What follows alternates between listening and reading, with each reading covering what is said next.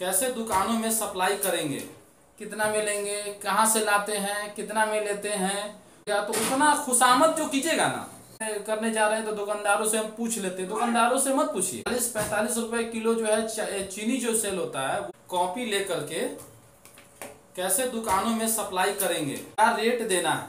कितना प्रॉफिट रख करके जो है दुकानदारों को कॉपी देना है? तो दोस्तों, ध्यान से आप लोग जो है वीडियो को जो है सुनिएगा, क्योंकि बहुत से लोग जो है हमारे मोबाइल पे फ़ोन करते हैं। कहते हैं कि जो है, भैया, कैसे बिज़नेस करें? YouTube का जो बिज़नेस है, वो हम कैसे करें? आप थोड़ा गाइड कीजिए। तो हमको बार बार बताएँ तो ये तो मुमकिन नहीं है कि सभी लोगों को हम बता पाए। ठीक है, मोबाइल के मतलब जो है फ़ोन करके तो ऐसे तो हो नहीं सकता है ना? तो इसी के लिए हमने सोचा कि जो है इस पर जो है कि वीडियो बना देते जिससे आप लोग, सभी लोगों को जो है इससे फ़ायदा हो। बहुत से लोग जो है फ़ोन भी नहीं कर पाते हैं। बहुत तरह का बात है लेकिन वीडियो जो बनेगा ना तो ये बहुत ही फ़ायदेमंद वीडियो रहेगा। नोटबुक भी आप लोग को हम सप्लाई करवा देंगे। यहाँ से हर एक जगह का लिए जो है ट्रांसपोर्ट है, दिक्कत नहीं है। तो जैसे कि आप लोग नोटबुक जो है मतलब हमसे लेना चाहे तो ले सकते हैं, हमसे ना लेना चाहे तो कोई बात नहीं, जहाँ मन करे आप लोग वहाँ से ले लीजिएगा। ये कोई हम प्रचार नहीं कर रहे हैं कॉपी का, कि हम अपने फैक्ट्री का जो है कॉपी आप लोगों को सेल करें, उसके लिए हम ये प्रचार कर रहे हैं। एक तो बहुत से लोग फ़ोन करते, उस पर हम ये वीडियो बना रहे हैं। कि बहुत से लोगों का हेल्प हो जाए। चलिए दोस्तों,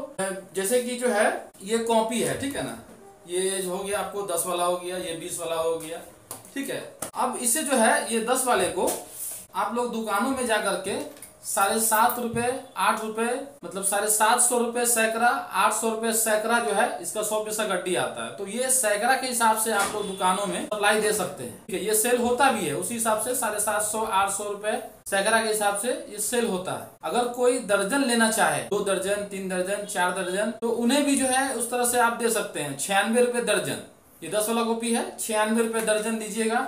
तो दुकानदार को बेचने वाले को भी जो है ना, दो रुपया पर कॉपी पे प्रॉफिट होगा। और ये जो प्रॉफिट होगा ये दो रुपये कोई कम नहीं है प्रॉफिट। बहुत प्रॉफिट है। लोग जो है चालीस पैंतालीस रुपए किलो जो है चीनी जो सेल होता है वो बेचते हैं तो उसमें उनको एक रुपया डेढ़ रुपया बचता है।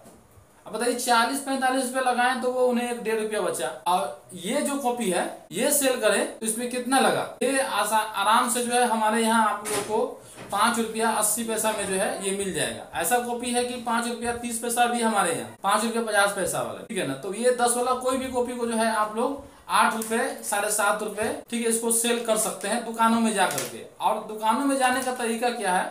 जैसे कि आप एक काम करें, पहले कि इस तरह का कॉपी अपने यहाँ आप लोग मंगवा लीजिए। मंगवाने के बाद जो है, जितना मंगवाना हो, जितना आपके पास पैसा हो, पंद्रह हज़ार, बीस हज़ार, पच्चीस हज़ार, उस हिसाब से जो है फैक्ट्री से आप लोग कॉपी उठा लीजिए।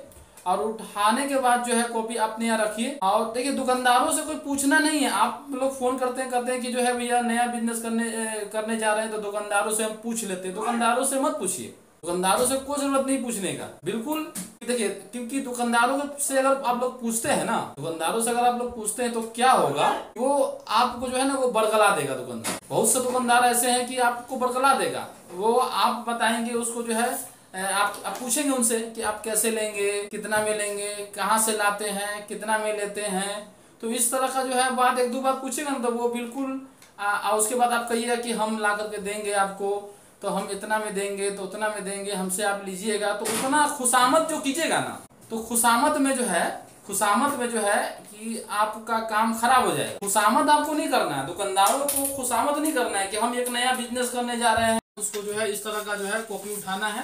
जिसके पास नहीं है उसको देते चले जाना है एक रूट से। ठीक है दोस्तों? तो इसी तरह से आप लोगों को काम करना है। अगर नोटबुक अगर लेना हो अगर हमसे तो हमारे नीचे दिए गए नंबर पे कांटेक्ट कर लीजिएगा कॉल कर लीजिएगा, और आप लोगों को जो है ट्रांसपोर्ट द्वारा जो है भेज दिया जाएगा। लेकिन पेमेंट आप लोगों को जो है ना पहले लगाना होगा।